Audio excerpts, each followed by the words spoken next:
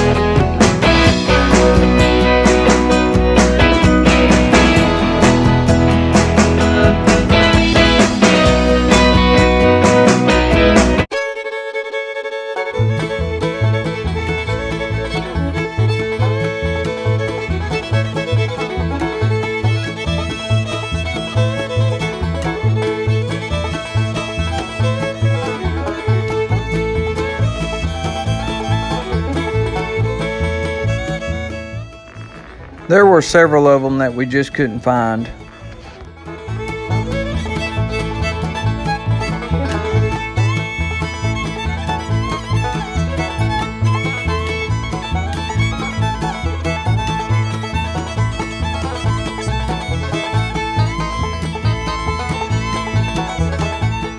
There it is.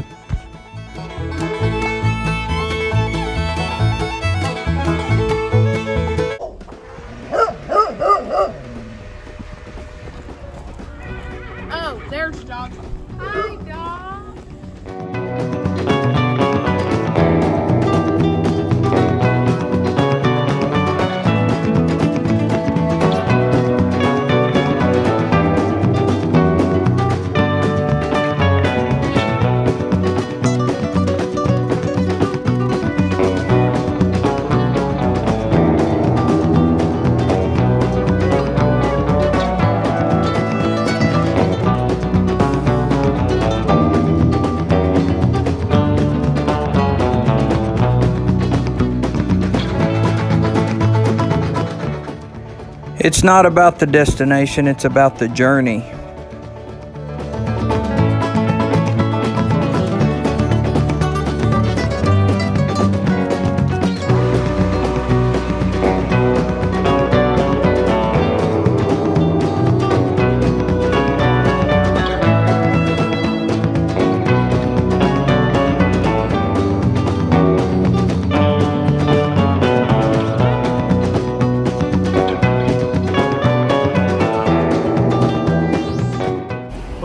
Like that one just don't want to be found.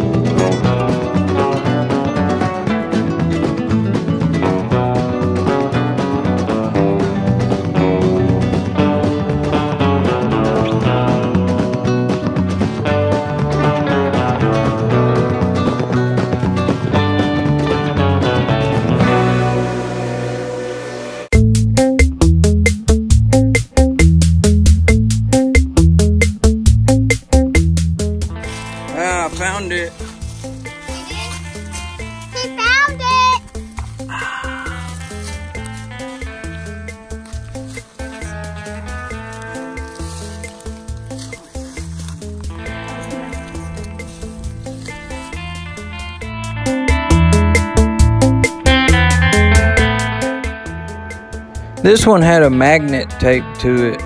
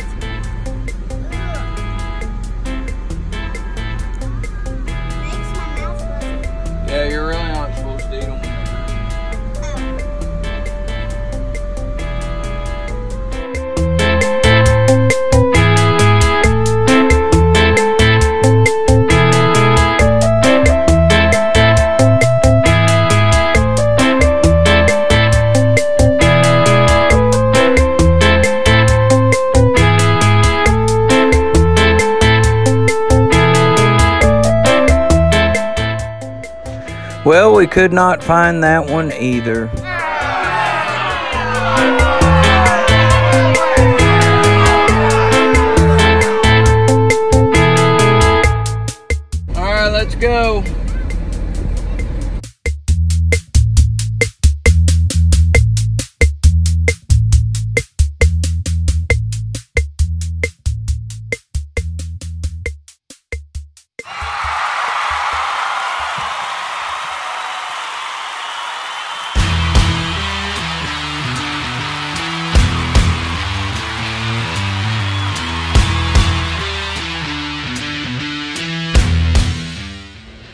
This is the volunteer fire department right down from my house, Hilltop Fire Department. They're always up there, very dedicated. This is Laura trying to open up a persimmon seed to see what the weather's going to do this winter. I'll do it later in the video.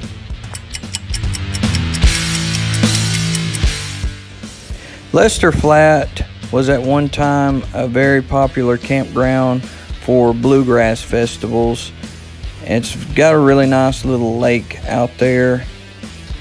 I think it's for sale for a little over a million dollars.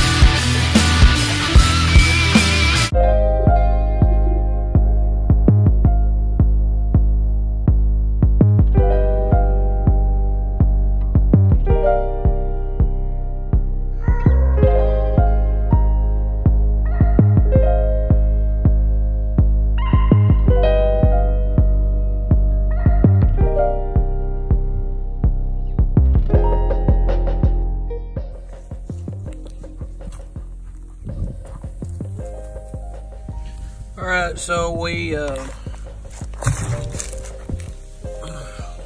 here, I'm gonna have to, all right, so we went out and around and Laura found a, uh, she's trying to open one of these uh, persimmons.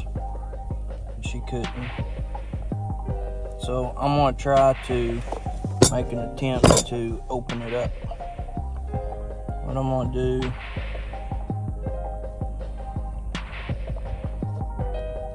I'm gonna do it like this. A hammer.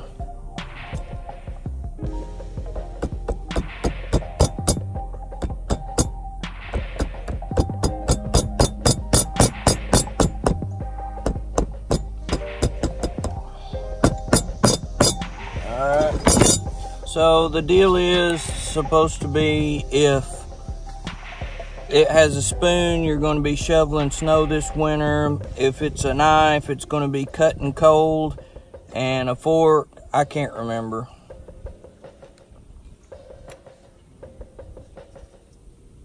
I don't know what that is.